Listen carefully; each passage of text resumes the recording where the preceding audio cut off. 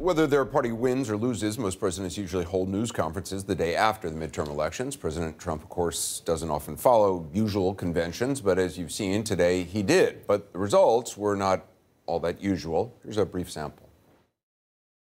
Do you expect that when the Democrats take over the chairmanship of all these important committees, you're going to get hit with a blizzard of subpoenas on everything from the well, Russia investigation okay. to your cell phone use to your tax returns? Ready? If that happens, then we're going to do the same thing, and government comes to a halt. If they start investigating you, that you oh. can play that game oh, and investigate better them. than them. They can play that game, but we can play it better because we have a thing called the United States Senate. Can you compartmentalize that and still continue to work with them for the benefit of the rest of the country? No. Or if they do that, then it's just all it is is uh, a warlike posture. And it'll probably be very good for me politically. I could see it being extremely good politically because I think I'm better at that game than they are, actually.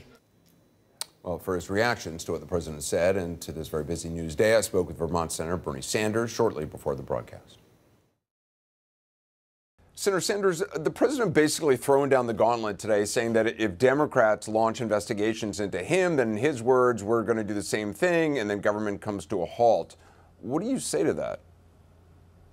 What I say to uh, what I say about that is that Democrats in the House have a constitutional responsibility for oversight, and I think to a large degree, the Democratic victory last night, regaining control over the House, was telling the President of the United States, we're going to end one party government. You simply cannot do anything you want anymore.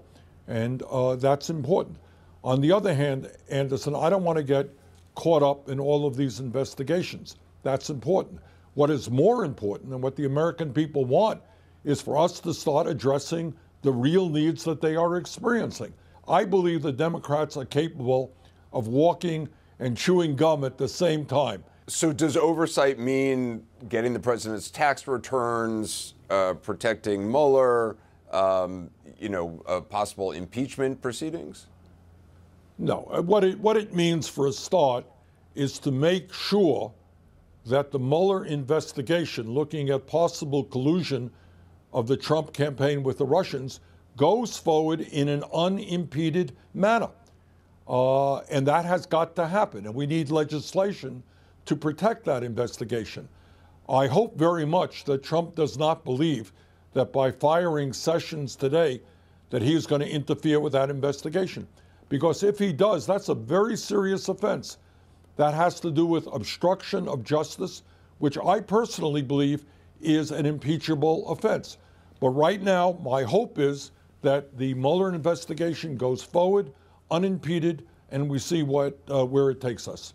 I, I want to ask you about Andrew Gillum and Beto O'Rourke's losses last night. Some are taking that as an indication of where the Democratic Party really is right now, uh, that it's actually more moderate than it is progressive, and that there's a there's a lesson in Beto O'Rourke's loss that he uh, he was farther left than uh, than than needed. Even he didn't convince any people Republicans who may you not know, have Anderson, liked Go ahead. Anderson, I have been hearing that argument forever. And that was the argument that led to Republican control of the U.S. House and the U.S. Senate it led to the loss of something like a thousand legislative seats in state houses all over this country. Democrats can't be progressive. We got to be Republican light. Man, that is such a total uh, mistake and, and, and a bad way to look at the political world. Do you believe um, when President Trump now is talking about bipartisanship?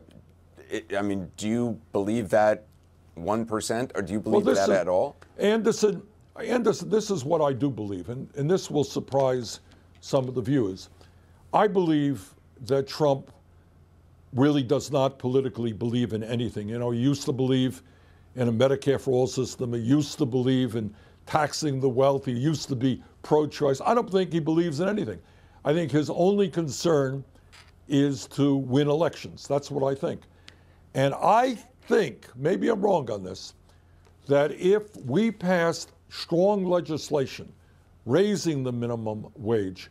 Uh, in, and in the first year of a four year phase in for Medicare for all, that calls for lowering the eligibility age for Medicare from 65, which it currently is, to 55, uh, make covering all uh, children in this country, young people in this country, uh, with a Medicare for All proposal and lowering the cost of prescription drugs. Do you know what?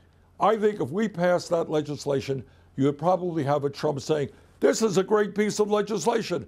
How great a president am I for supporting this thing?